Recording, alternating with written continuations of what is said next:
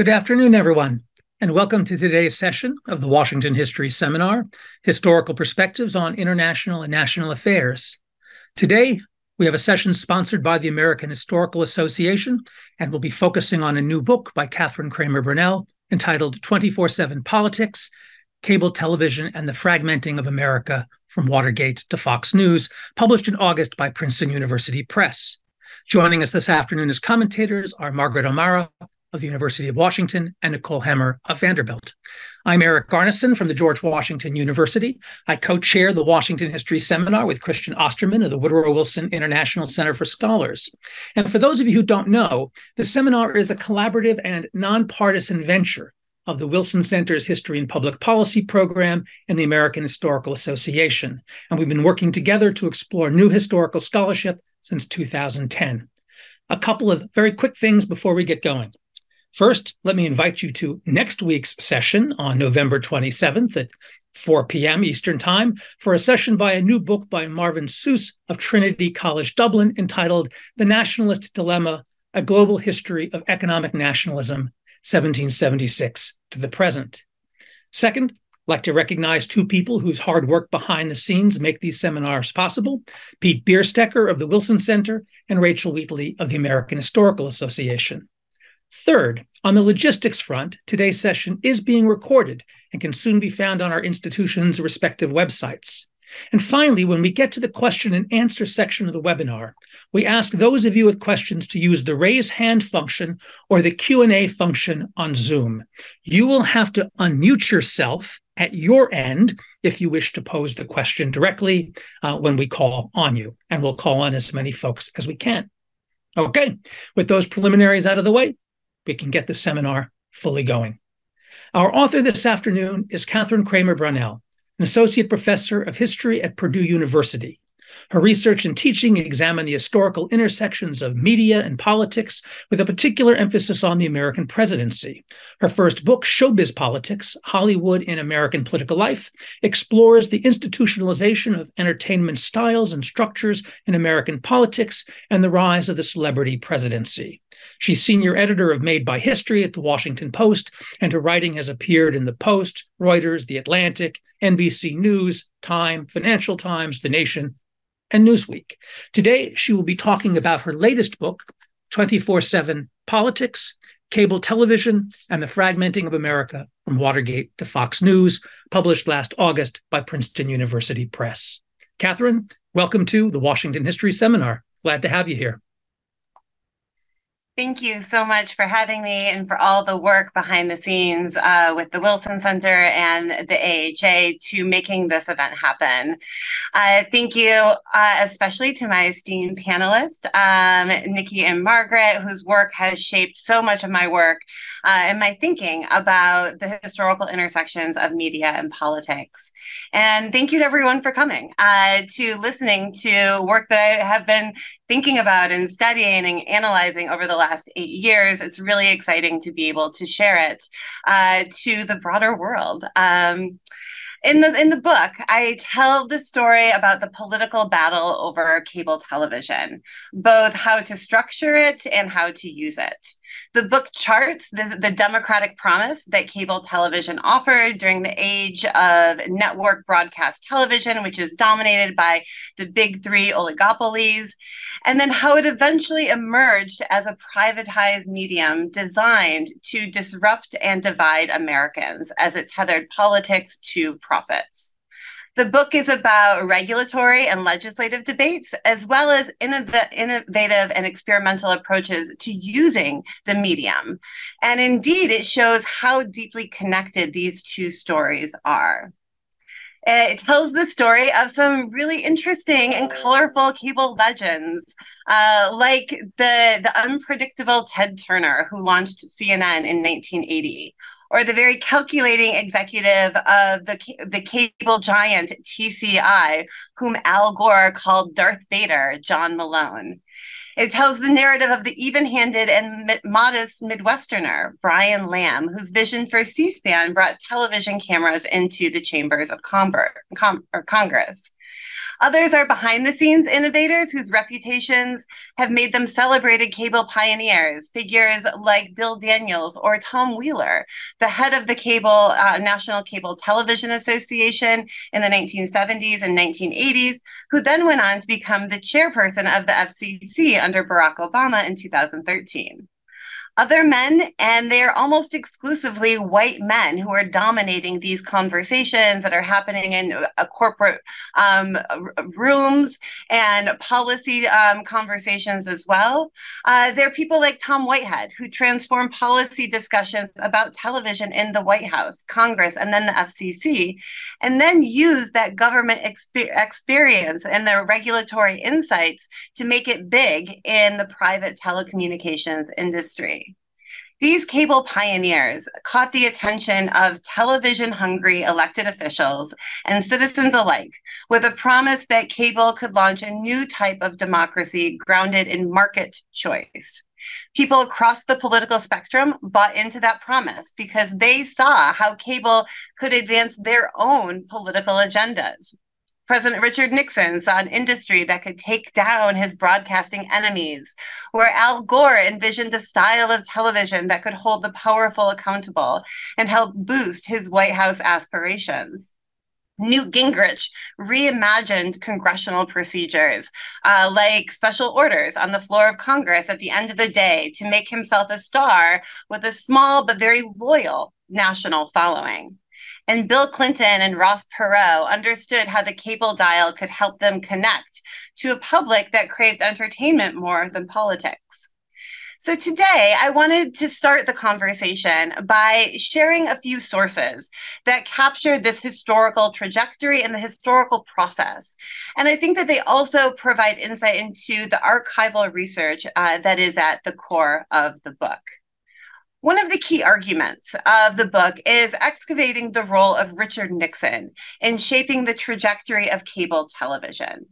During the 1960s, cable had emerged as a very highly regulated industry designed by federal policy so that it would expand the reach of broadcasting rather than compete with it and offer an alternative to it. Again, this was by regulatory design, uh, crafted by the FCC and supported by elected officials, many of whom had an economic and political stake in the broadcasting system. Um, and they were very friendly uh, with uh, local broadcasters and um, uh, network executives um, at the big three um, ABC, CBS, and NBC. This was not Richard Nixon, though. He was not one of those people. Um, and in his election in 1968 was very transformative for the broader television industry in a variety of ways. Nixon believed two things about television. First, that it mattered, perhaps more than anything else, um, it, to political success. And second, that it was biased and out to get him. So he saw the deregulation of cable as first a way that he could better he he could embrace the medium because he could better control his message. That was really appealing to him. But perhaps more significantly, he saw it as a tool in his war against the, the networks that he thought were, again, biased and out to get him. He saw cable and promoting cable as an alternative to, um, to uh, broadcasting uh, would break down the social, political, and economic power of the networks. And here's the first source that I wanted to share. Um, uh, here is one of the really fascinating sources I found in Clay, the Clay Whitehead papers, who is the director of his Office of Telecommunications Policy. And in this OTP um, office, pursued this project that they called Project BUN. And BUN stood for Break Up Networks. And you can see here that he's talking about this notion that politically, economically, or phil- philosophically, the problem to the network news problem, uh, or the, the solution to the network news problem, is in communications policy. And he identifies cable as the place to address it. So, this network news problem that he talked about in a variety of capacities, and his staffers came up with a variety of different solutions for them um, is is what he saw as bias coverage um, and the political control that the networks wielded. And so this is one of many uh, efforts uh, that is at the core of how he's thinking about cable and how he's identifying the deregulation of cable as the solution to what he sees as biased media. Nixon's administration ultimately shows how shaping the news was not just about shaping messaging and press coverage, it was also about policy that could alter the business terrain. And I think it's a reminder um, when we think about political history and politics today about um, that self interest. Uh, frequently determines some of these legislative decisions, uh, particularly when it came down to how to structure media institutions that elected officials saw as central to their political power. And this is something that the cable industry leaders understood. They recognized um, uh, and they tried to use this insight into their advantage to then change the regulatory environment in ways that benefited their pocketbooks. And this brings us to the second source that I wanted to share today. Um, and this is a letter from Bill Daniels, um, again, a, a, broker and investor um, in the 1950s and 1960s, makes a lot of money in cable. Um, and he's frequently called by his colleagues uh, very affectionately in the industry the father of modern cable because of his biz- business savvy, but he was also very savvy politically. Uh, while serving on the National Cable Television Association board, which is the main lobbying organization for the industry, he urged his cable colleagues to offer free time on cable stations to local, state, and national officials as a public relations strategy. He wanted to use news coverage as leverage to then give legislators a stake in cable's growth. Um, and so here's one of the documents where he talks about this is after Richard Nixon's election.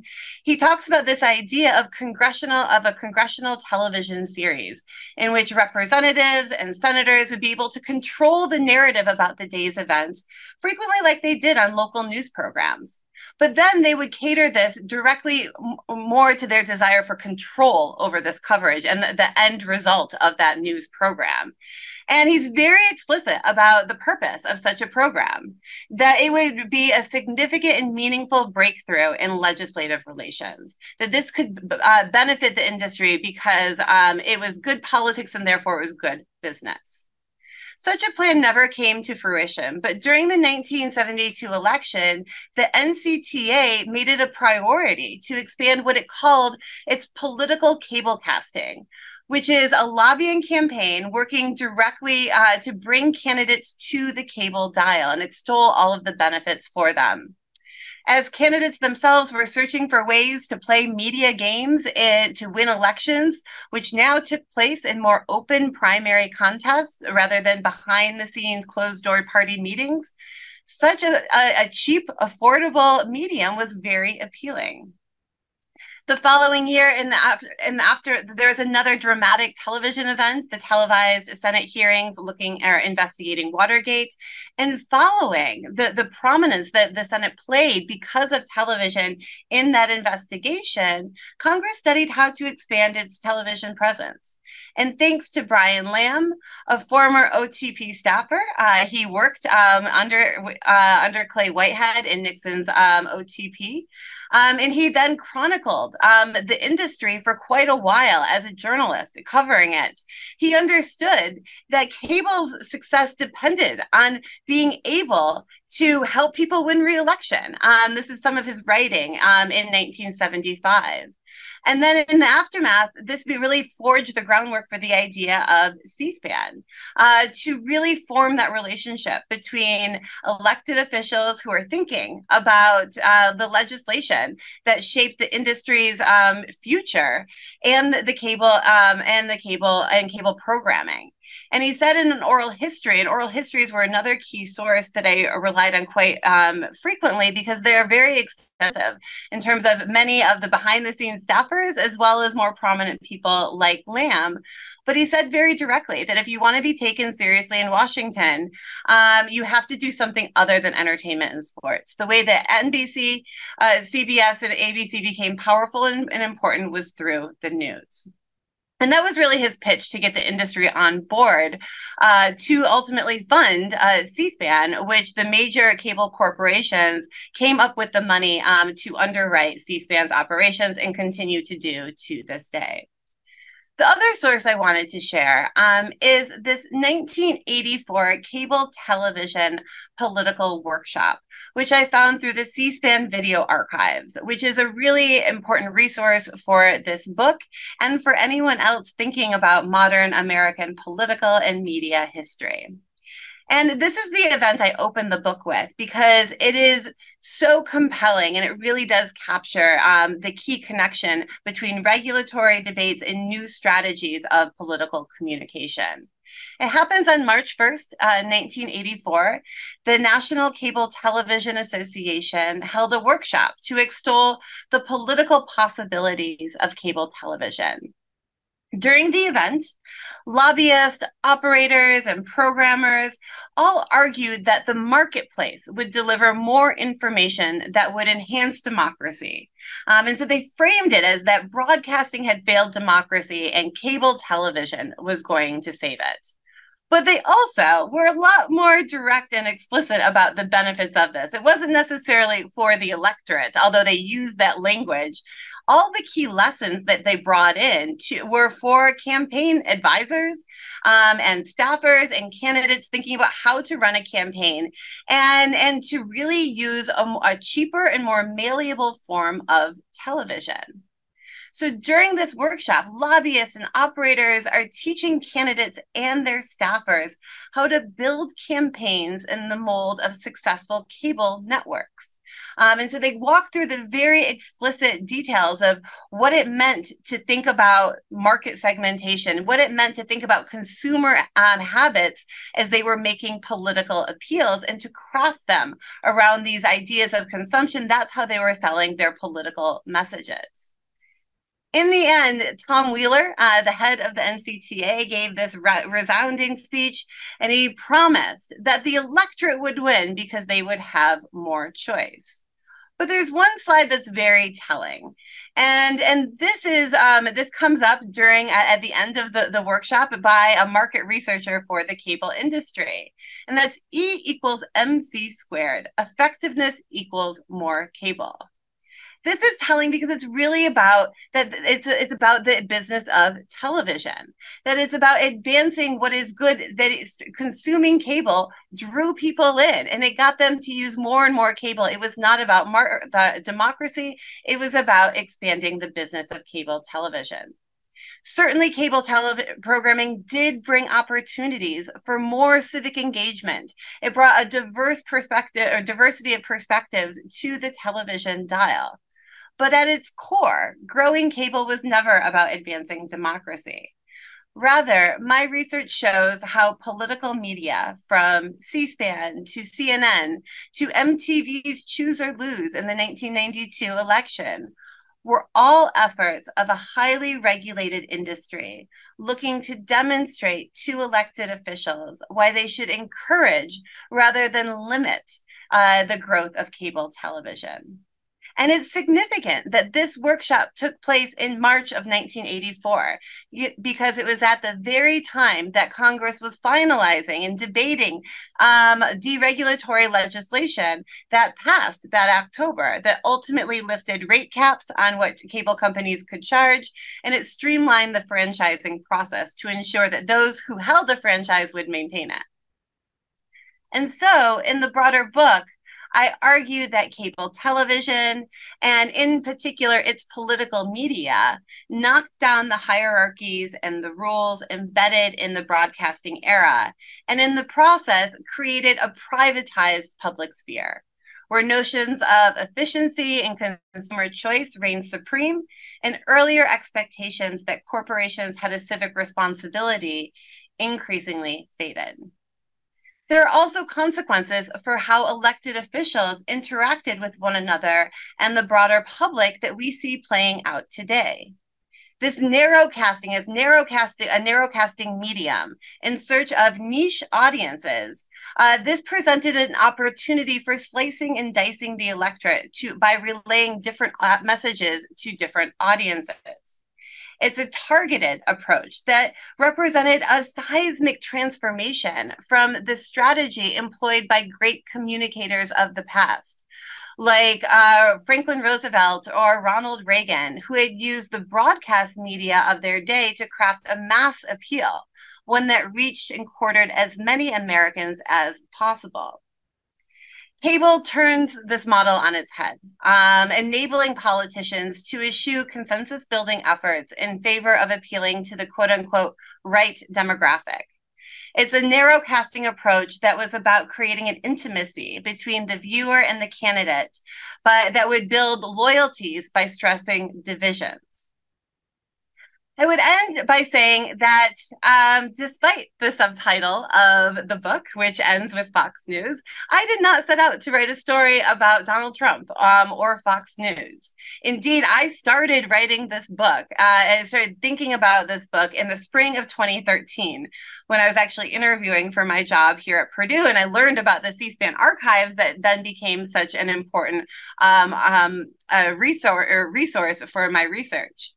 But I think what we've seen over the last couple of years, especially what has come out with the Dominion lawsuit against Fox News, that this mutually beneficial relationship between uh, former President Trump and Fox News, um, especially in the way that it put uh, profit and power ahead of democracy, shows the consequences of tethering the democratic process and democratic institutions to the marketplace. Um, more broadly, my goal with this is to show that media and political values really they don't just collide they co-create one another. And i hope that by understanding power dynamics and business calculations and the personal motivations shaping uh, the information that we can we consume and how we consume it can help people better navigate a political and media environment designed to distract and divide them Thank you so much. Mm. Kathryn, thank you. Now, our first discussant this afternoon is Margaret O'Mara, who's a political and economic historian of the modern United States and the Scott and Dorothy Bullitt Chair of American History at the University of Washington. She's the author of The Code Silicon Valley and the Remaking of America, published by Penguin Press in 2019. Pivotal Tuesdays Four Elections That Shaped the 20th Century, University of Pennsylvania Press in 2015, and Cities of Knowledge Cold War Science and the Search for the Next Silicon Valley, published by Princeton in 2005. Her writing and commentary have appeared in the New York Times, the Washington Post, Wired, MIT Technology Review, Foreign Affairs, and other outlets. Margaret, welcome to the seminar. Thank you so much, Eric, and thank you, uh, Katie Brownell, for for making this marvelous, marvelous book. It's so exciting to see it um, out in the world, and to and it's something that I think is an extraordinarily important contribution for for a number of reasons. Um, I should start by saying I um, I'm particularly pleased to be commenting as the Bullitt Chair of American History and the Bullitt family. This chair is, is endowed by the family, uh, the, the, matriarchy, in fact, that's that founded King, uh, the King News uh, TV and radio empire out here in uh, in Washington and Seattle. So there is a there's a, a TV angle to everything. Um, there are many delightful things about this book. And before I talk about the historiographic contributions, I want to just begin by um, highlighting the, all the wonderful stories and the cast of characters that are here and, and the incredible sweep that beginning in the 1940s with these very scrappy uh, not very politically savvy cable operators um, with these stations and these, you know, literally people climbing on the roof to erect antenna um, at a time at the very beginning of television itself. I hadn't fully appreciated until I read this book how old cable is and how and how it is something that has been around as long as television itself and this, I think, actually feeds into one of the really big um, contributions and insights of this book um, that gets us to think not just about cable, but more broadly about the policy making process, um, which is that cable news and the efforts, particularly our, our cable, the cable industry, and news and the and C-SPAN and the public service um, elements of it were designed to be a solution to a problem and a problem of concentration of power um, in just three big networks. And that concentration included if you were in Astoria, Oregon, or even early on in some place like Seattle, Washington, you couldn't necessarily get all the programming you could get in New York. um, there was, and true for most of rural America or most of America, pretty much, that cable was fixing this problem, opening things up. And also the, the push starting in the 1970s that Katie so beautifully documents in this book is really a bipartisan very earnest push to open up the information ecosystem. Does that sound familiar? To dislodge the power of a few big companies that seem to have control, these platform companies that have control over the sources of information. And in doing that, their intent, in, indeed a thousand channels literally bloom. And there now are different networks and outlets and news programs for everyone. But in splitting up that larger whole, that mass public, you no longer have the imperative, as you point out in this book, to deliver a message that would resonate with the masses or something that would be um, across appealing to the full political spectrum. Indeed, you know, one of the great um, opportunities and, and realities that cable created was freeing up this information ecosystem, that it also allowed, um, uh, as you document in the books, this pol- this polarization. The the other thing that is related to this, which is you know, Fox News is in your subtitle, and when we think of when we think of fragmentation and pol- political polarization in cable, we do think of the present day media environment, the cable news environment, Fox News, but also MSNBC, and also the kind of the political. The, the, in order to make money in cable news, you have to be um, uh, having a significant point of view and, and saying it loudly. And that what this shows is that this did not begin, we did not begin with that, that there's a much deeper history. And there's a particularly, particularly appreciate um, for for those who are um, both uh, lived through and are scholars of um, the 1970s, I think this there's a particular, um, particularly important contribution here. I'm looking at what the Nixon administration is doing with media that goes beyond the enemies list, that goes beyond what we the stories we know, that's about that's linked to this broader push to towards privatization, towards a kind of early um, you know, delinking these, um, you know, the government, get, getting government control out of out of media and creating a more free freewheeling business environment but also extended to other um, other industries as well. And and that is, um, and but it also because it's Richard Nixon, it's deliciously wrapped up in all of the the the, uh, the psychology of the Nixon Nixon administration. Um, and I, I, think that that this is, you know, I think you're very conscious and conscientious about making this is not a cable news book, but this explains cable news, but it explains that cable as an industry, as a source of information, has, um, you know, it it was, you know, the it, it definitely vastly enlarged choice and certainly allowed messages of um, difference and identity to spread more widely. Um, I think, and I think as a as a Gen Xer about MTV and how MTV broadcasts to a national audience of teenagers in the 1980s what life is like on the coast or in London or the punk scene or all of these alternative identities, um, queer identities, things that were not something that was part of the mainstream pop culture. You know, here's something that cable is able to do, and it's able to do this in multiple ways and in different in different. So there's there's a, a story that you tell there that is um, can be very affirmative. At the same time, they're occurring in an, already an age of information overload, a term that was coined by Alvin Toffler in 1970, well before any of this really started get, getting going. It allowed for this the siloing that we that we see today. I was um, thinking about um, as I because I write about the tech industry. Obviously, so many things about this book sort of resonated with what I know and what we all experience in terms of the, the evolution of the internet as an, a media and a political force and a business force. Uh, there are so many echoes in the 1984 hearing um, that you opened the book with and that you showed a, a, freeze frame of today um, of this hopefulness of what cable could provide and this democratic promise of cable that is so exciting it reminds me a lot of uh, wasn't that long ago, although it seems very long ago, in the post-mortem write-ups after Obama's election in 2008 and the Obama campaign's use of Facebook and particularly Facebook, but other social media, and how much, and it's not too hard, folks, you can Google it now, it's still up there on the, online.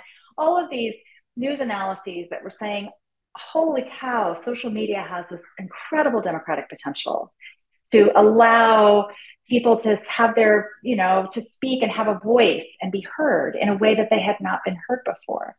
And um, and certainly, indeed, it did. And this, of course, was the the um, techno optimistic uh, hopes that Silicon Valley's the designers and the creators of these platforms had. They really, honestly, very earnestly believed that bringing the world online was going to indeed make the world a better place. And you and many beautiful things have bloomed online, and yet when you bring humanity online, all the worst of humanity comes along with the, with the best, and it can serve to amplify it. Particularly, and I think this is another really important resonance, is that when it's an industry, and when the point of this is this is to make money, at the end of the day, that is what trumps everything and that we've seen this with you know the social platforms as one example of consumer facing tech where when these harms of algorithmic news feeds and um, targeting and whatever are, are raised at the end of the day and, and some sometimes being raised from within the companies themselves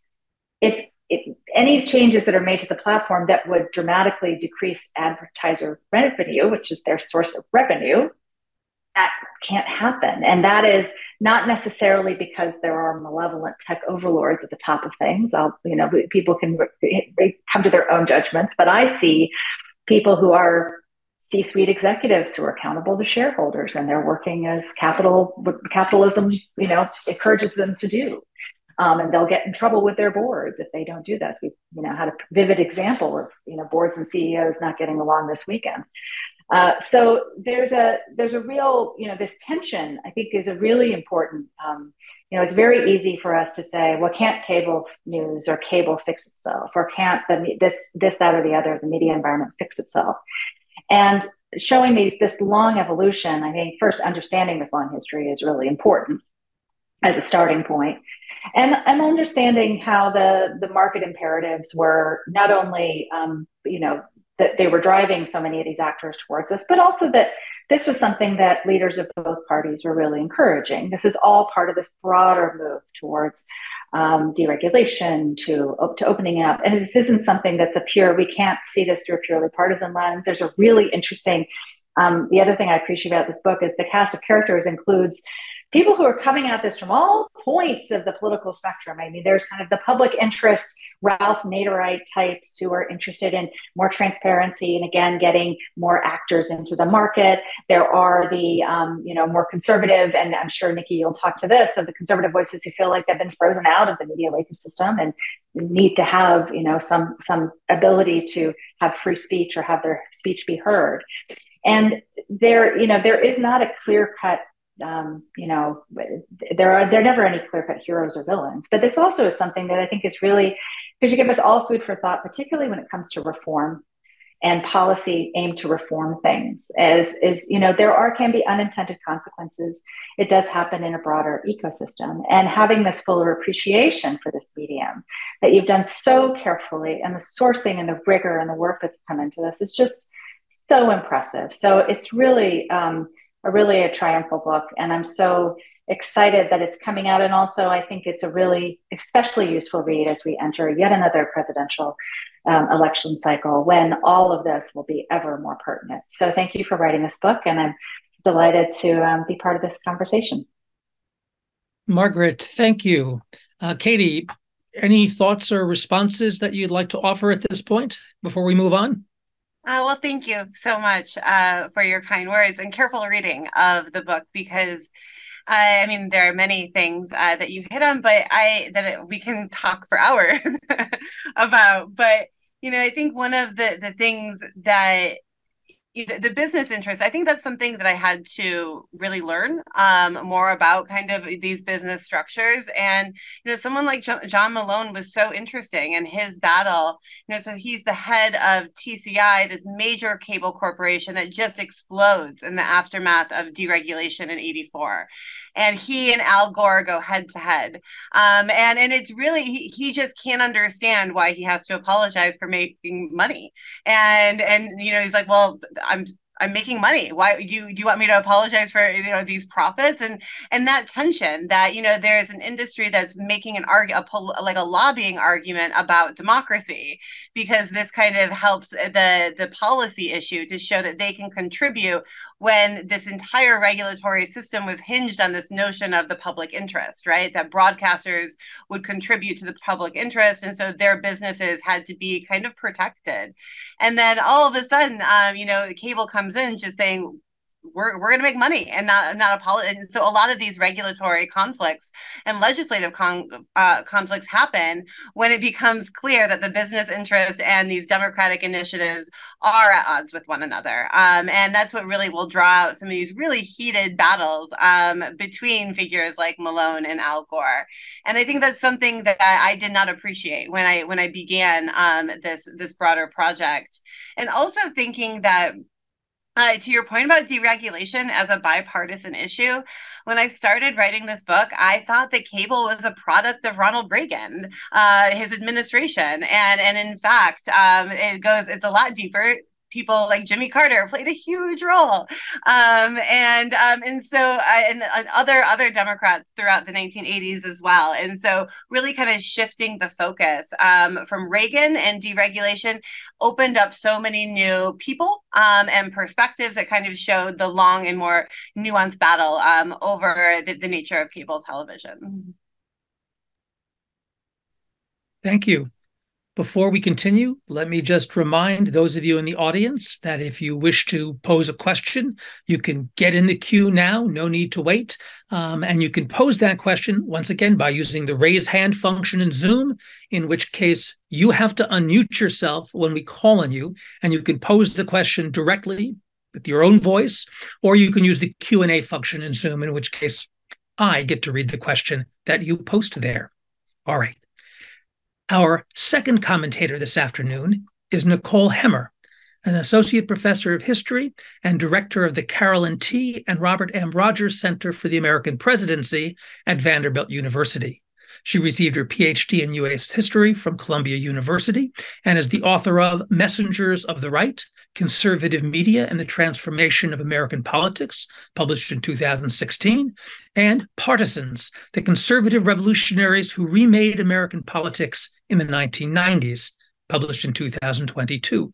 Both books were subjects of the Washington History Seminar, the first back when we were in person at the Wilson Center in that pre COVID era, and the second here in our online format. Nicole, welcome back to the seminar. Well, thank you so much for having me, and thank you for all the work that you all have done to keep the Washington History Seminar up and running through these changing times. It's also great um, to be able to be here with Katie and Margaret. Um, our work all sort of circles around one another. We're interested in these questions of technology and media and politics and their relationship to democratic governance. And we come at it from very different ways. Um, but I think that being in conversation with one another, especially about this brilliant book, um, is is such a treat. Um, and I I'm gonna pose my comments around kind of the bigger political world that Katie illuminates through this study of, of cable. Because, like Katie, I am very dedicated to this proposition that media and politics co create one another in the United States, um, that our media system reflects our politics, that our politics reflect our media systems, but it does more than just reflect, right? It, they, they can constitute one another in really important ways that often are not well understood um, because I don't think that traditionally media has been taken seriously enough as a political institution. And what Katie does in this book is she takes media very seriously as a political institution, as an industry, as a set of actors in a way that I think really enriches not only our understanding of this particular medium, um, but of politics itself. And it's that that I want to focus on today because I think that Americans have gotten used to thinking about media and democracy through the lens of social media, right? Um, I think there were some uh, grimaces about the idea that Facebook was once this techno optimistic space um, because now it has become so common to focus on Facebook and Twitter and TikTok as threats to free and fair elections, to good political information, and just to democratic governance more generally. Um, so I think we're used to thinking about this relationship between media and governance when it comes to social media, but I think we're a little less accustomed to thinking about how that has functioned with some of these earlier technologies. Um, people rail against cable news, um, like Fox and CNN or MSNBC. But I think when they do, they're primarily focused on the news side of cable news and not the cable side. And I think what this book does is it reminds us that the cable side is actually really important for understanding both the potential of cable news and the disruptive consequences of it and of cable more generally. Um, so this is where Katie's very deeply researched, and this is such a deeply researched book and also very smartly argued book comes in. I, I think cable, in addition to being ignored when we think about democracy, also gets somewhat ignored um, when we think about media history. It's certainly overshadowed by our focus on broadcast media or digital media. But 24 7 politics makes clear why we actually should be paying a lot of attention to cable because cable was such a consequential technology. Um, from the start, as Katie points out, it was intertwined with these questions of democracy, um, not just with this idea that cable could be a public service, um, but that also it came with fears of fragmentation, of fracturing. And it is also, as we've just touched upon, a story of capitalism and how capitalism and democracy intersect in particular ways in the latter half of the 20th century. And so I want to focus on some of these big ideas that emerge from the book, and then I'll throw out a couple of questions as well. So, first, I am particularly struck by how the promise of cable is the promise of a market driven democracy. It is this sort of techno utopian project backed by industrialists and politicians who have a strong faith in the private market. And this is a vision of democracy that I feel like has has been dominant um, for the last 40 or 50 years. And it, you know it might be challenged today but it still has pretty significant sway in the us and what i particularly love about this book is that people talk about things like neoliberalism or market driven liberalism, but we don't necessarily always get these kind of nitty gritty studies of what that looks like on the ground. And that is what this book offers. It gives us an opportunity to really dig into the granular processes that made this form of politics function. We've got deregulation, we've got public private partnerships, and we've also got this values driven rhetoric that just coincidentally neatly aligns with underlying economic interests. Um, so even if cable um, doesn't ultimately wasn't pursued earnestly um, to advance democracy by all of these groups, that rhetoric um, that markets are going to provide the best form of democracy is something that really resonated um, over the past half century.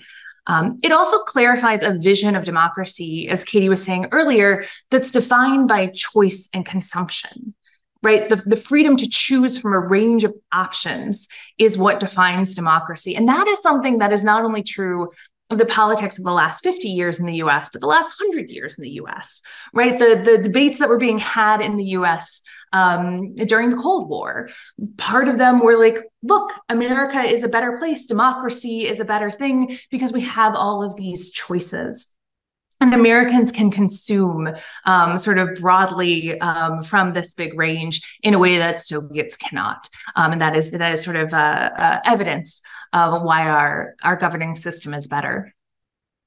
And I think related to this, in a something that comes out in the book that I don't think we've touched on yet, is that there is an interest in diversification that doesn't significantly challenge those underlying economic interests. These cable innovators were interested, the politicians and the industry people, um, in empowering minority communities in a couple of different ways by providing representation, but also providing ownership in this in this technological space in a way that the broadcast network model didn't right? If you only have three channels um, it is unlikely first that you're going to have um, opportunities for ownership in general beyond just a few people um, but also that you're going to be broadcasting content um, that is aimed at a at a group of people who might represent 10% of the population or 15% of the population um, so what you get with cable is the emergence of outlets like Black Entertainment Television, the Gay Cable Network uh, that Katie writes about, the Spanish International Network.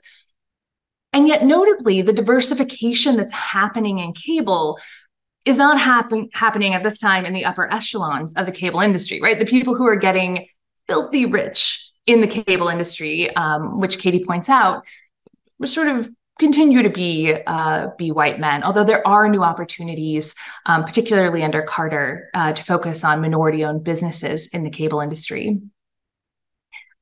I'd like to call attention to a few other things that I think Katie's book draws out um, that are really clarifying about politics in the United States.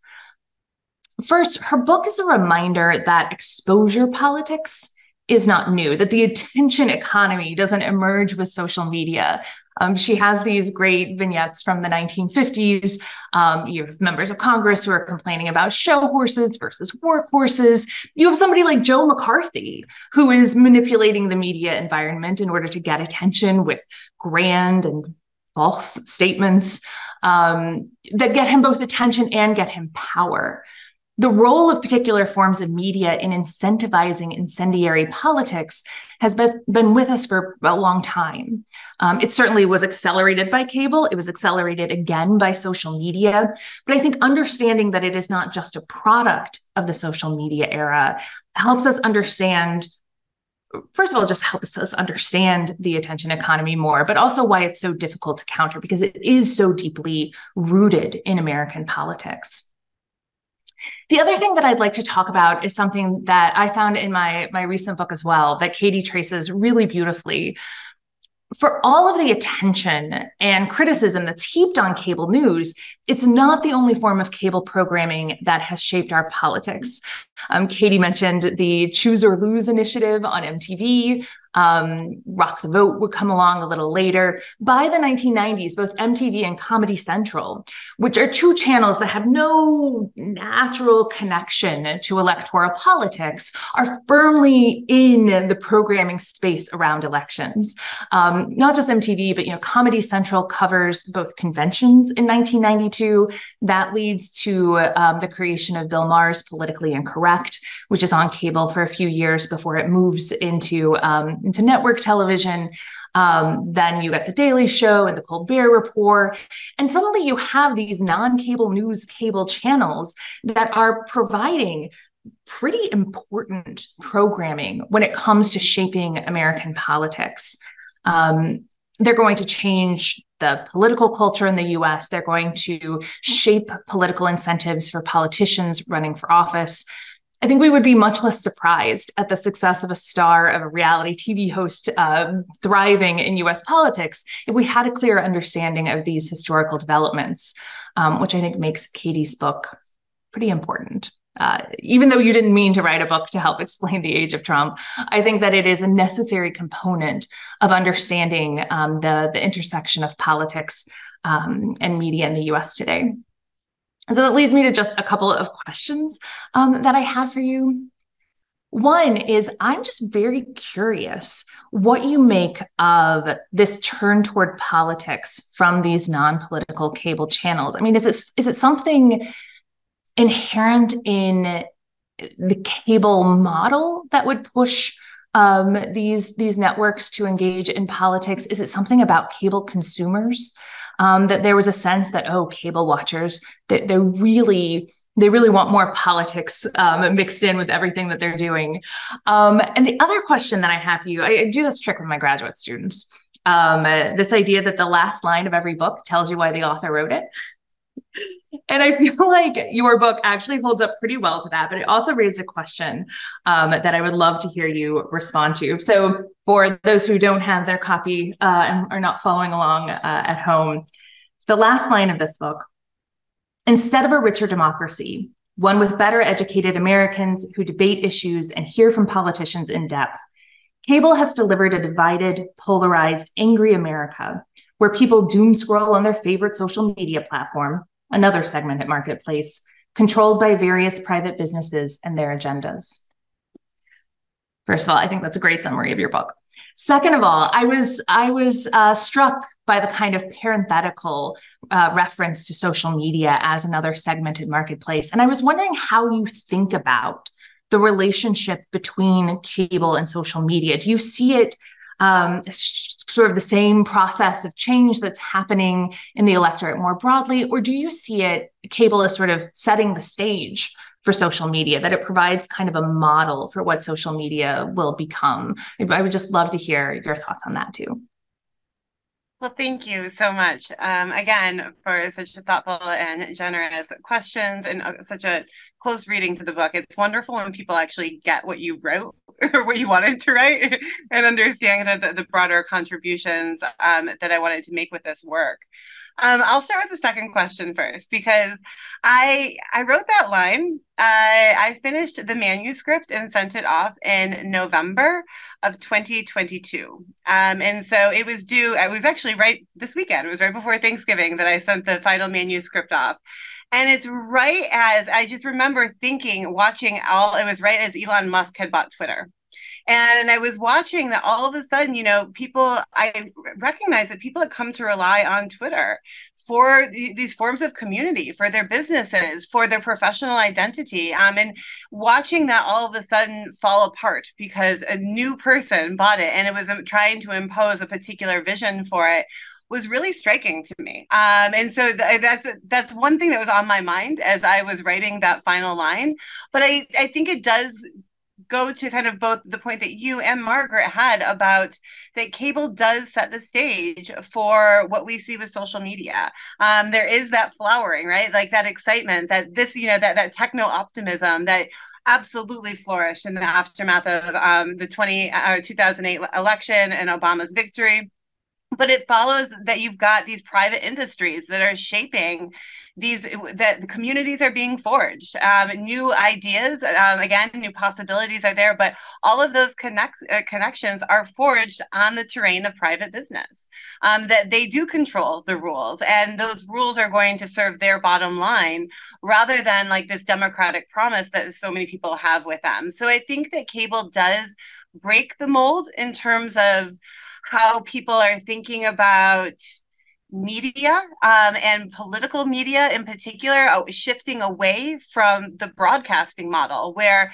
there's again this expectation that businesses because of regulations um, have to serve the public interest um, and, and that they can be concentrated and big as long as they do that again so much unhappiness with that very elitist very exclusionary and then it really pushes to let's make these businesses um, you know to, to break them up to decentralize them.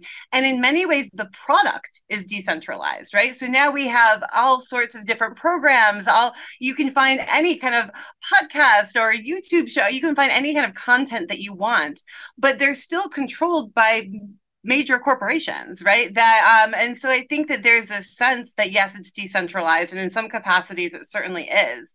Um but there's still this corporate structure that has triumphed. Um and so i think that those are those are kind of the tensions that are there. But cable does introduce this notion um of diversity defined by choice right? By consumer choice that is not as much of a factor under broadcasting.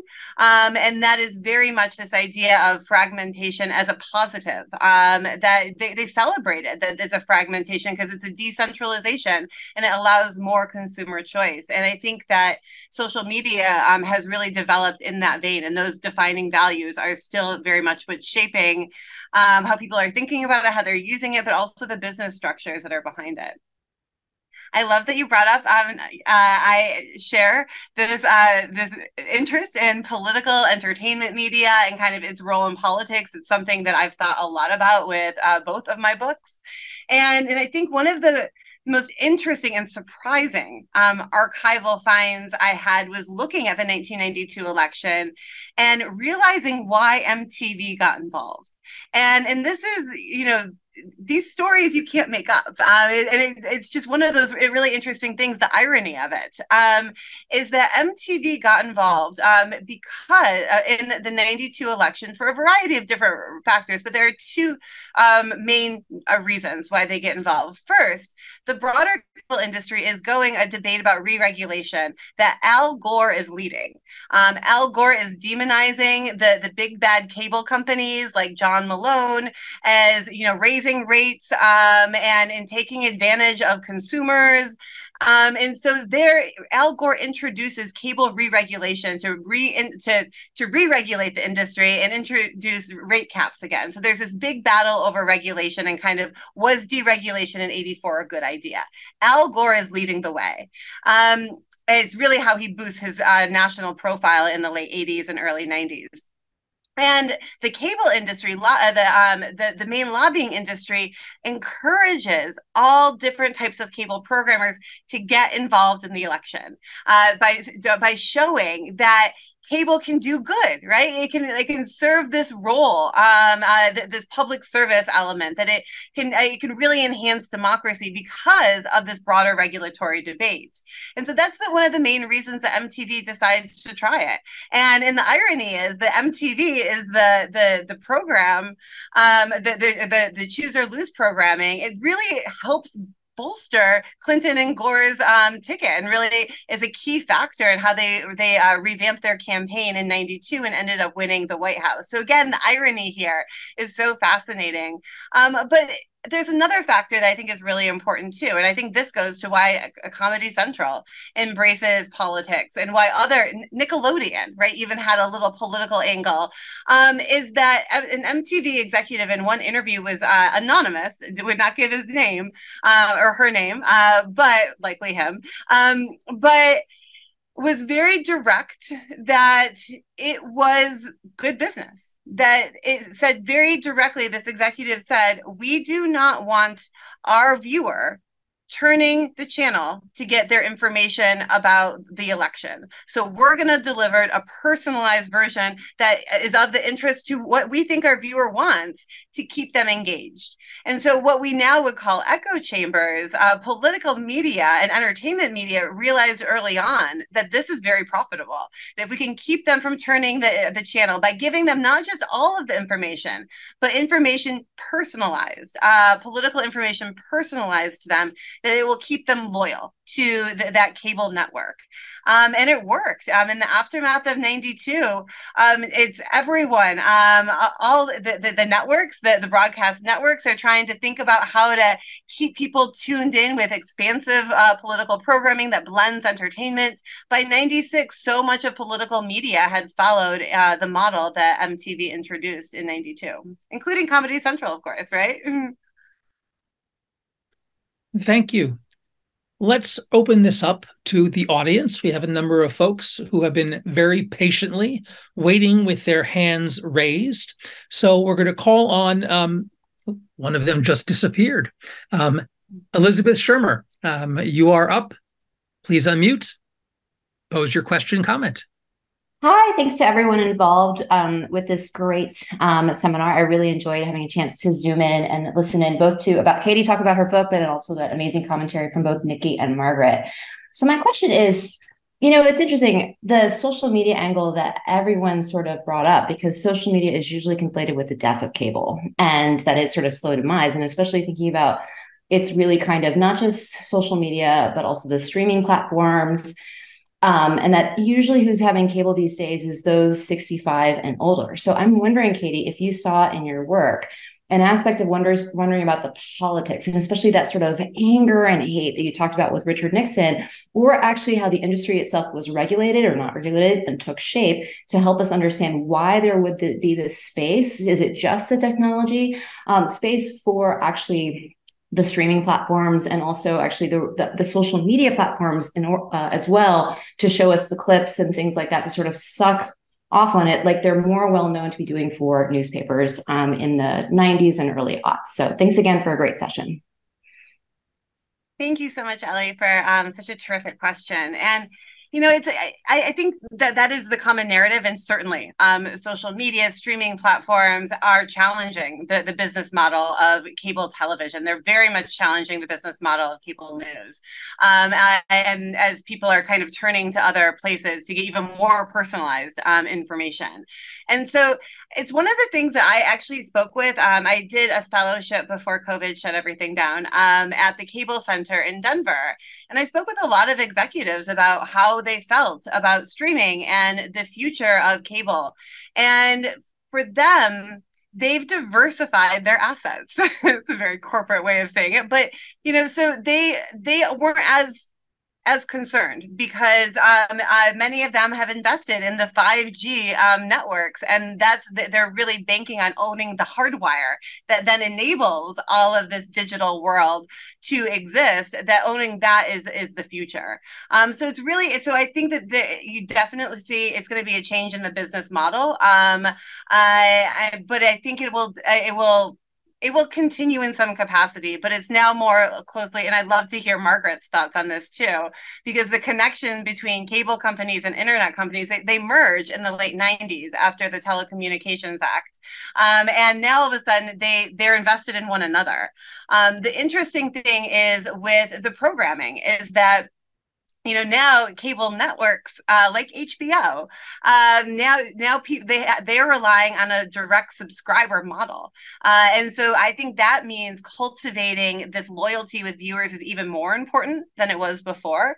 Um, pr- previously, some someone like HBO would you you'd pay your cable bill. Um, and part of uh, how you would get HBO was a more premium panel or channel, so you would pay a little bit extra. But something like ESPN was built into the carriage rates, and so again, think now you have to rely on individuals to make up that money that you aren't necessarily getting from the cable operators and their monthly cable bills that they charge, then give you 50 cents uh, per subscriber. So I think the business calculations are really interesting, um, but I think the companies will continue to try to find ways. And even thinking about subscription, right? Companies are raising the rates. Um, uh, time, you know, it's getting more expensive to, for for Netflix and Hulu, and these are not linked to perhaps traditional cable companies, but they're very much following that model of subscription and trying to, you know, have that loyalty with individuals um, in a way that, you know, really expands on that business model of um, that cable introduced. Margaret, what do you think about the connection between cable companies and internet companies? yeah, I think there's a lot. I think it's really interesting. And then, and then in fact, the kind of same regulatory deregulatory impulse is kind of i mean you know the story you tell in your book is really creating the big big, wide, flat, friendly runway for internet companies to grow. And and to the, you know, the Al Gore's war on the telecoms was in part fueled because he was talking to early internet evangelists about the importance of having a more free information ecosystem. These are all all these things are very intertwined with one another. Um, I think that the question's really interesting because, well, one, what we're seeing already is, you know, a, a continued proliferation of outlets and, um, and, and this kind of speaks a bit to some of what Nikki's comments were, were pointing out, which is that there's, we sort of have this dissonance in American politics and, and American society more broadly, and that we have 40 years or so, or particularly the last 30 years, of kind of increased um, social visibility and tolerance of difference or more diversity, visual diversity, kind of the, um, you know, what we all roll our eyes when we kind of open a, a website and see all the canned stock photos of a diverse group of people like laughing at an office or something. And that, but the actual, you know, corporate hierarchy is not that diverse. Um, that dissonance is kind of the same. We have this diverse, very diverse information ecosystem that's catering to a lot of different niche interests and yet there's this the business imperative, and we're seeing this in streaming, is that if you have too many outlets that the, the, the, business is no good. So you know it, there's going to be a drive towards consolidation just like we've seen in the technology platforms. And you know part of it is because it's very expensive to to run these things. The infrastructure itself is very expensive. And um, but you know that's a, you know whereas the the the, the the companies you've talked about the lack of diversity in the industry itself even though the the products are very diverse. So i think that there's that that tension there. There's kind of that you know we, we, this is an insight a broader political insight into how uh, america has become a more open and tolerant place um, legally and socially and at the same time, there has been a rem- remarkable stasis at the top. And it, I guess the last the last point I want to make that's prompted by this question as well as earlier remarks is that you know, this is all happening at the same time that faith in institutions, governmental and otherwise, is declining. And this is taking, you know, this kind of open, you know, choose your own adventure in terms of media consumption and political consumption is something that's all happening at the backdrop of people not believing in the capacity of government to properly take care of things or the capacity of societal institutions that were dominant um, to have capacity to take care of things. So that's, you know, all these things flow together in really, really interesting and important ways. And just to add one other thing, um, because Ellie, you mentioned the average age of cable news viewers. You know, when MSNBC, which of course was a, a, partnership between Microsoft and NBC, because this new cable news network really wanted to take advantage of this new technology, and because of all of the deregulatory um, um, issues that Katie was talking about, it really positioned itself as the network for Gen X. They had like the um, exposed brick in the background. They were all sitting around their own little central perk set um, because it was supposed to speak to like 20 somethings. And I think that it did 20 um, somethings of the 90s, potentially. Um, but, you know, as technologies change and as new generations of young people don't have a cable news habit i think they've really struggled to keep those viewers and these uh, uh you know a channel that was was born to serve 20 somethings sort of um, aged out of its own ideal demographic. Thank you. Let me let me squeeze in a question here if if i may. And it has to do with the notion of techno optimism and the notion of democracy. And at various times in your book, you have different parties using the language of democracy. We are going to expand the electorate, we're going to have more voices, more diverse voices taking part, and democracy will be healthier as a result. Maybe it's because we're in 2023 and our cynicism level is, I don't know, kind of up here. Um, so I'm trying to recreate that mindset, and I'm having a very hard time doing it, except insofar as the language of democracy always sounds good, but I have trouble kind of imagining actual people on the ground thinking that this is going to do it. So you have a case in the early 60s um, of uh, a battle in California. Uh, between free TV and pay TV. Um, uh, and with the free TV people saying, you know, cable is going to be, they don't use this word exclusionary. It's going to be an economic burden on the poor and how terrible this is. But on the other side, you have a variety of, of organizations, obviously cable promoters, but also Americans for Democratic Action, um, you know, who, who say, you know, no, this is going to be able to expand various voices. Um, they lose this time, but they continue and later in the 1960s you talk about engineers at the rand corporation researchers at the ford foundation producing studies that envisioned how cable television could provide meaningful social change and help combat economic inequality and racial injustice. And a whole variety of, of progressive groups kind of get on board. Um, i'm trying to recreate their thinking here and why they would really believe um, that that this would be the case. You know, yes, more voices might be available somewhere on the dial, but but would this? Did they really believe that this was going to reduce economic inequality? Uh, how, um, or even uh, reduce racial injustice? Again, how? So, if you could just bring us into the mindset uh, of those liberals or progressives who believed that this corporate dominated technology was somehow going to make this a better world for everyone.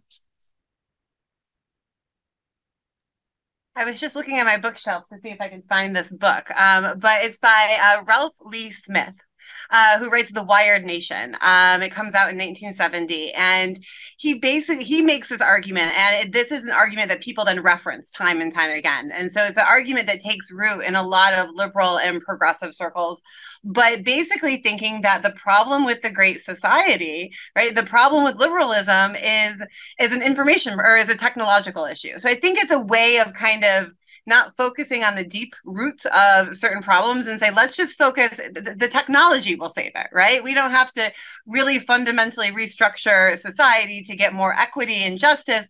We're just going to have the techno the technology will come in and save it. And so I think there's there's a way to not really look at the deeper issue by focusing on this notion of techno optimism.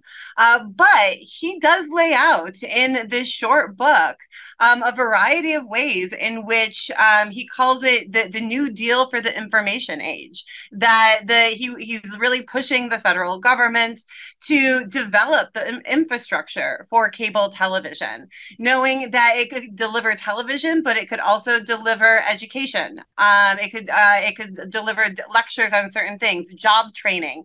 It could um, it could bring more um, access to finances, um, and so it could then create a conversation between local um, individuals and city councils um, to get help people be more informed. And so there is this I mean, and people, some people truly did believe it. Um, and whether or not their vision could have ever become a reality, it would have created a massive, I mean, he, but he calls on the federal government to invest in building this wired nation of, you know, the wires for cable infrastructure, just the way that they had built the highway system. Um, seeing that the exchange of ideas is going to be at the core of the information society. And, and, you know, to, it, I, I, thought a lot about cables develop and the very specific policies and visions that were promoted for the um, building like the actual infrastructure of cable. And I, I, thought a lot about margaret's work as i was writing this and how how different it was um, for kind of the investment in you know cold war computing um, that she um, so so brilliantly excavates in all of her work and that you know the, the government would would subsidize um, certain um, experiments going on in um, in uh, in Silicon Valley, but it didn't with cable television. And I think that's really interesting. There were calls to do that, uh, but they were calls in 1969 and 1970. And this is not something that Richard Nixon really wanted. Um, and so I think that's where I where Nixon was so transformative um, as a figure because he really kind of shut down even more investigation into those. Um, think tanks would continue to expand some of the research into it.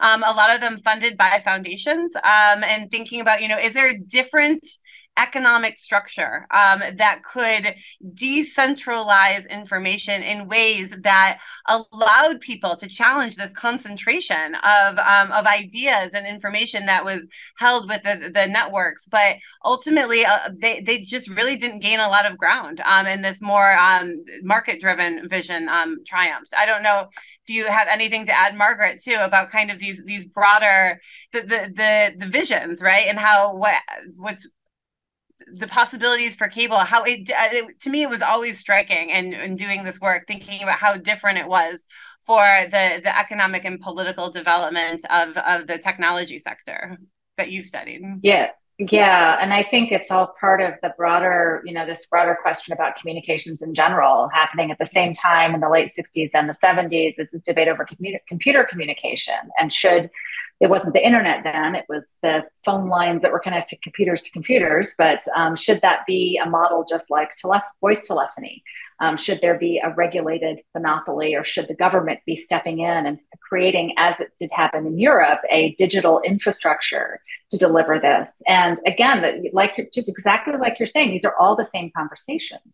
And and so that does become something that's much it's this window into really understanding our information environment writ large that these different platforms and media and the infrastructure underneath them and the political debates about them are coming you know very much one and the same and they are coming from a very progressive place as well um, as, a, as a as a liberal place. A leftist, the left, the liberals, and and the um, and the right are in many ways aligning around this notion of um, you know, or are all engaged in these conversations and they're kind of coming at it from their own, seeing these platforms as a means to an end. Um, but then it's it's Uh, very much you know this is this book so much expl- explains our media environment, including our internet media environment writ large in many ways. It's not just not only cable. There's something so cyclical cyclical about it which is interesting because you see this when new technologies emerge. Katie you mentioned the new deal like with radio. Um, there's this moment at the beginning of radio that it, it is infused with all of this democratic potential. And then by the end of the 1930s as you have more and more demagogues on um, radio people are like well maybe we have we have miscalculated a little bit about the the democratic potential of this medium and so you see it with cable you see it with um, social media and with the internet um, that there's all of this hope and real and real democratization that these technologies do but then um, the the full scope of the potential of that medium uh, comes home to roost in a way, um, and suddenly people lose some of that optimistic sheen. Thank you. We have a number of questions in the queue, and several uh, address or raise the question about kind of the demographics of those who run this industry.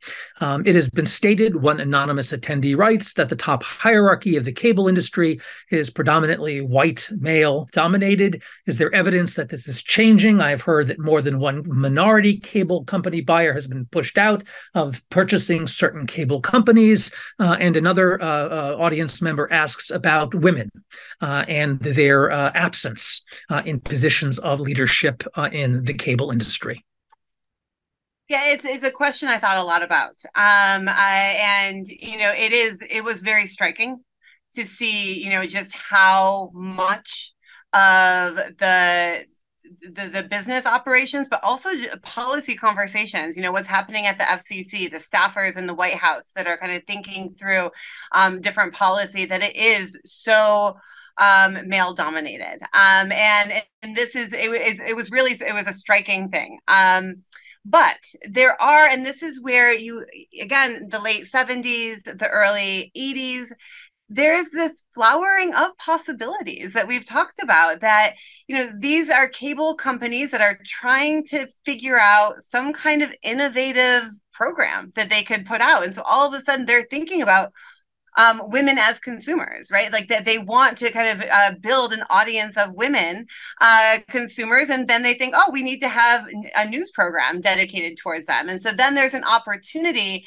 Um, you know, I, I, tell this story of uh, a woman, uh, Maureen Orth, who became involved in this kind of hippie um, experimental project to cover the 72 convention. Um, it's really fascinating um, and really kind of upend the traditions of journalism um, by just having a camera, a mobile camera that they could carry on there with a backpack and interviewing new people, really kind of challenging those those conventions um, introduced by someone like Walter Cronkite, uh, bringing new voices, new perspectives, um, and really does an excellent job um, uh, in, in, in covering a true diversity of perspectives um, and asking unconventional questions, going outside the convention hall, not just relying on who's speaking, right? But actually getting protesters. Um, and then she goes on to work for um, a news, uh, um, a daytime news uh, program that's dedicated towards uncovering um, issues for of interest for women, and it really propels her career. She goes on to do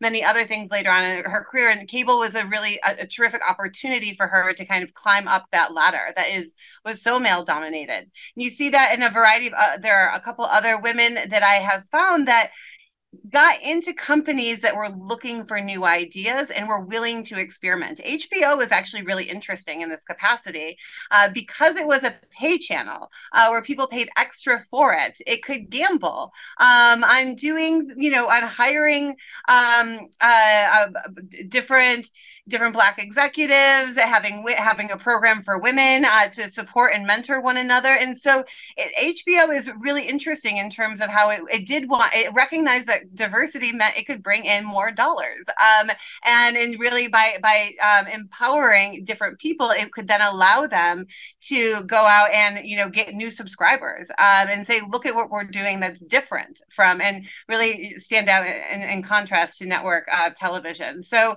so it's interesting because um, there are these moments where you see possibilities because it's an upstart kind of scrappy industry and they're just looking for new ideas um, and willing to, and people could climb the ladder in ways that perhaps they couldn't at the network, like at a network um, television uh, company. Thank you. I have two questions I'm going to join together that come at the subject from very different perspectives. Michael Bender asks uh, or writes that he looks at American politics and what he sees is coalescence instead of fragmentation. The GOP moves to the right, shedding modern Republic, moderate Republicans. The Democratic Party moves to the left, losing conservative blue dog Democrats in the process. While not cable TV, Rush Limbaugh's listeners love to refer themselves as ditto heads, which seems to be the epitome of coalescence. The opinion driven cable news channels group their like minded viewers together, and he sees this as coalescence, not fragmentation. Um, and coming at it from a different perspective, um, Megan Easley Walsh writes with a plurality of media presence, resulting in more segmented politics and even wildly different versions of the facts. Do you see a way forward for a more united or at least more civil future? You know, it's interesting. I, I think, you know, um, to, to Michael Bender's point, like there's you know, figures like Newt Gingrich recognize early on that he can build a national audience and find people that have the, the same values that he wants to kind of bring to politics, that same disruptive. Um, so there, there are some kind of ideological um, issues that he's interested in, but he's also got a very particular style that he wants to bring in um, as well, and that he can appeal to people across the country and kind of build this build a community. It's a very small community, but it's very loyal. And he recognizes that this is something that he could never do in his home representative uh, community. You know, the, for the people he represents, he can't build that big of a national name for himself and that kind of uh, national following. So it's kind of like um, you the narrowing and nationalization, if you will, of, of politics that that you know someone like him recognizes the the potential of that. And I will say that there is um, one of the things I looked at um, are a lot of the viewer letters that people wrote to C-SPAN uh, especially during the 80s when people talked about like what c-span meant to them. Uh, and and it was really shocking how so many people were turning to cable looking for community. Uh, they were looking for people that maybe didn't think like them in their their small town but maybe they they found someone in a call-in program that said something maybe smart, maybe off the wall, um, I, maybe offensive, but connected with them. And so there is, I think, uh, this this turn towards community that's there, and that's something that politicians are trying to build for themselves. It's something that cable companies early on um, uh, exploit. HBO sold itself is that you can be part of this exclusive community if you subscribe to HBO. So I think that infusing this sense of a community um, is is there from really, um, especially by the, the, late 1970s, as a, a, business strategy first and then a political strategy. In terms of where we go, um, I have finessed this a lot um, in interviews of, well, what now? Now that we have this world, what are the, the solutions? And even though the, the book, as you read from, and, and Nikki, read the last line, it's not the most optimistic line. I have to say, one of the things that I find, um, I am an optimist. I, I truly am. Uh, I and I, one of the things I find that's really interesting right now is that there's a lot of frustration and anger with our current political and media landscape, um, and seeing the, the the, the problems with the two as interconnected. Um, and I think there's a recognition of this. Um, and again, it goes across the political spectrum. Um, and it does make me think about this moment in the late 1960s and early 1970s where there's this same um, there there are a lot of divides there's a lot of distrust there's a lot of anger that people have about both their political system and their media system and those undergo dramatic changes uh, moving forward. There are new technologies um, that come into play um, and then new policy choices um, that are made over how to structure them. Um, and so i think that we are at a moment to perhaps rethink um, some of the assumptions that have undergirded our both political and media system and i don't have the solution but I do know that bringing uh, understanding how it operates and then bringing having a productive conversation not to just introduce things from the past but to, to think creatively about potentials moving forward. Um, that that's a that's a very real possibility. Thank you. In the book, you deal a good deal with the competition and the hostile relationship between the broadcast networks and the upstart uh, and then growing and influence cable industry. But Catherine Albanese asks if you to comment on the cooperation between cable and network broadcasting. Uh, that is shared commentary between NBC and MSNBC. So, how has that relationship changed in more recent decades? Yeah, everything changes with the 1996 Telecommunications Act because then that allows ownership structures to change. Where now, um, before then, uh, uh, uh, network broadcasting could not own cable systems um, they could maybe there could be a glitch where they could have a small one, but they couldn't own a, a major corporation. Um, uh, they could maybe uh, they could own different networks. They could own programming, um, but they couldn't actually merge um, their entire corporations.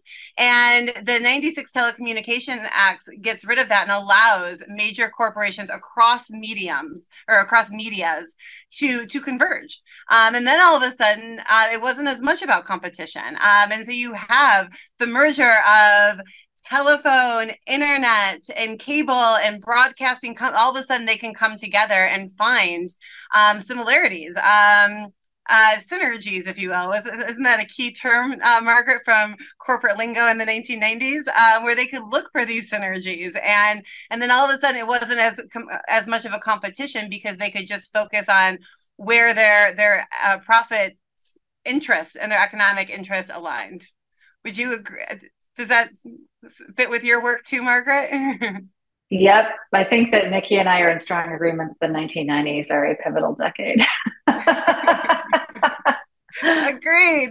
I will jump Agreed. on that. the term synergies was popular in the 1990s. Why is my university still using it? Uh, time to jettison and come up with new lingo. Um, let me ask one last question, if I may. And this has to do with how you weigh the influence of this particular industry slash technology. And so there's been a lot written in recent years. Let's see, by some people on this very screen, um, you know, about the ways in which um, political polarization um, was driven by a variety of techniques. Um, so the rise of direct mail, the recognition that you can really target narrowly certain segments of the population and fire them up and extract contributions from them, you know, or talk radio um, that uh, the right specialized uh, in. Um, uh, for the longest time. Uh, and then there's cable. Uh, and then, of course, there's the politicians themselves, you know, who are looking around for techniques to bolster their own standing and to increase donations. So, given the broader landscape, um, how much weight would you place on the cable industry itself um, in either driving or facilitating this process compared to, say, you know, other techniques um, uh, and mechanisms for mobilizing kind of micro and larger constituencies. Well, I don't think you can really separate it um, from these other developments because they are all happening at the same time and they're learning from one another.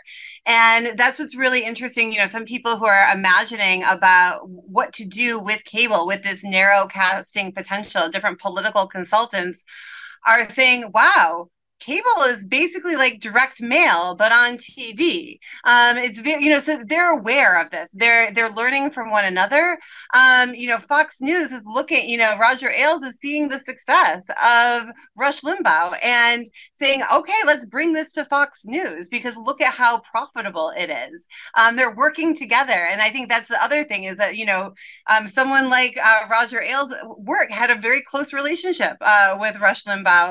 Um and then you you know they they advertise for one another. Um, and you know nikki can talk uh, in much more depth about this as well but there is this they all are recognizing shared values that they can bring to make more money and to have more political influence. Um, and so I think that cable is a very instrumental part of that. Um, but it is very much um, it's developing and learning from other mediums. Um, and I think that's one of the really fascinating things is to see those connections where people are saying that works really well here. Let's try it here.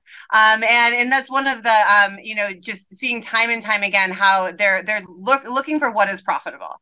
and uh, and really, you know, outrage is profitable. Um, and that that's something that becomes a, and it's effective politically um, as well. And so again, profits and efficiency, um, these become those shared values, and they're they're all talking with one another and sharing strategies um, about how to make more money by doing this. Thank you. We could go on for quite some time, but I unfortunately have to draw this to a close. It's now 5:30.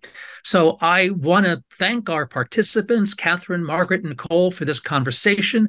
Thanks to those of you in the audience for your questions. Please remember you can join us next week when we reconvene uh, on November 27th at 4 p.m. Eastern Time for a session on Marvin Suesse's new book, The Nationalist Dilemma: A Global History of Economic Nationalism, 1776 to the Present, with Erika Rappaport of UC Santa Barbara as our commentator.